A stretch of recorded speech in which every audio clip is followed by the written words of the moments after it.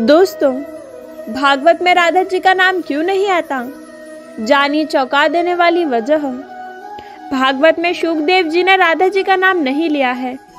पर क्या भागवत में सचमुच राधा जी नहीं है? एक संत राधा जी का नाम भागवत में नहीं होने के पीछे इतना सुंदर कारण देख रहे हैं कि पूरा भागवत राधामय हो जाएगा। राधा जी का नाम भागवत में ना होने के भाव सुंदर चित्रण है। विद्वान और पंडित लोग कहते हैं कि जिस समाधि भाषा में भागवत लिखी गई और जब राधा जी का प्रवेश हुआ तो व्यास जी इतने डूब गए कि राधा चरित्र लिख ही नहीं सके।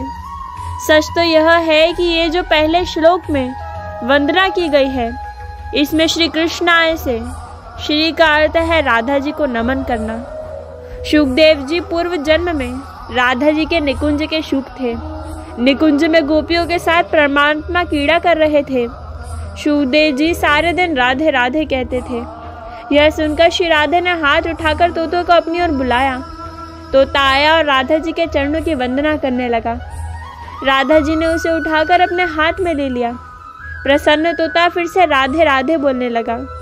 राधा जी ने कहा, हे शुभ अब तुम राधे राधे के स्थान पर कृष्णा कृष्णा कहा करो।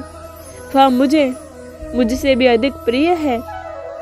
इस प्रकार राधा जी तोते को समझा रही थी कि उसी समय श्री कृष्ण वहाँ आ जाते हैं। राधा जी ने उनसे कहा कि तोता कितना मधुर बोलता है।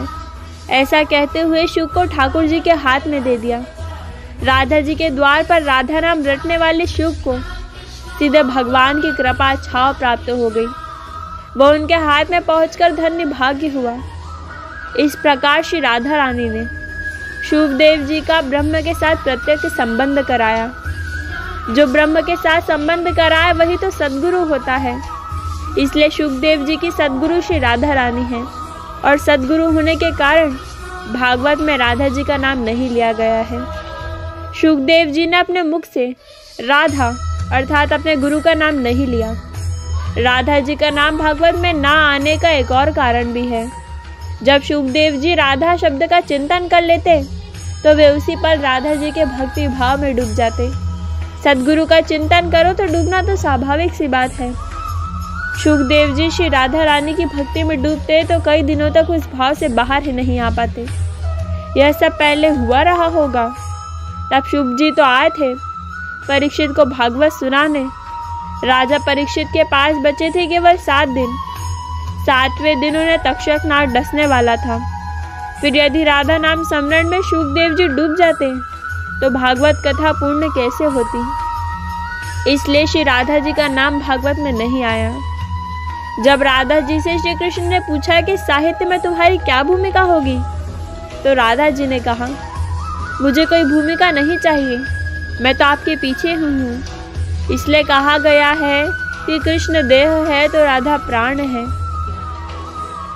कृष्ण शब्द है तो राधा अर्थ है। कृष्ण गीत है तो राधा संगीत है। कृष्ण वंशी है तो राधा स्वर है।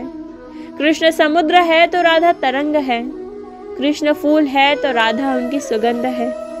इसलिए राधा जी लीला शब्द रूप में अदृश्य रही। शब्द रूप में अदृश्य रही, अर्थात उनका नाम शब्दों में ना दर्ज हुआ, परंतु उनकी आत्मा वही है। राधा कहीं दिखती नहीं, इसलिए उन्होंने राधा जी को इस रूप को नमन किया है। एक बार बड़े भाव से स्मरण करें राधे राधे। ऐसा बार बार बोलते रहिएगा। राधा राधा, आप बोले और अगर आप उल्टा भी बोले तो वह धारा हो जाता है।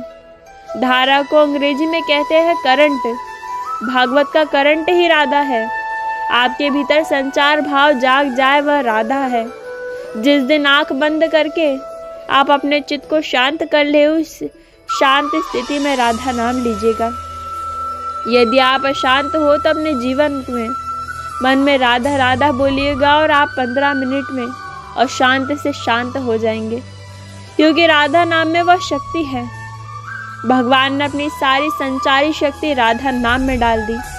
इसलिए भागवत में राधा शब्द हो या ना हो, परंतु राधा जी भागवत में अदृश्य रूप में विराजमान है।